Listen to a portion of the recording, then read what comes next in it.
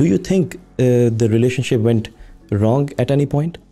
इमरान खान के मसाइल फ़ौज से पैदा हो गए थे और चूँकि एक डिस्टेंस पैदा हो गया था जिसको अपोजिशन ने भी रियलाइज़ किया और इंटरनेशनल फोर्सेस ने भी रियलाइज़ किया फ़ौज आपको आप कंसल्ट करेंगे सिक्योरिटी के मामला के अंदर और उसकी ओपिनियन बहुत वेट कैरी करेगी इस किस्म की प्रोफेशनल आर्मी के लिए किसी मुल्क में टेक ओवर करना उस वक्त आसान होता है जब रिया, रियासत में सियासत जो है वो बहुत ज़्यादा डिवाइडेड हो। How do you see our foreign policy developing? How it should develop? America का इंटरेस्ट पाकिस्तान के अंदर नहीं है पाकिस्तान के इर्द गिर्द है।